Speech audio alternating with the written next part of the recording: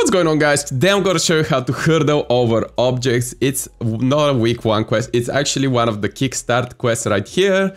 And as you can see, we have search a weapon case. I was gonna show that as well, but it kinda, the Fortnite server crashed.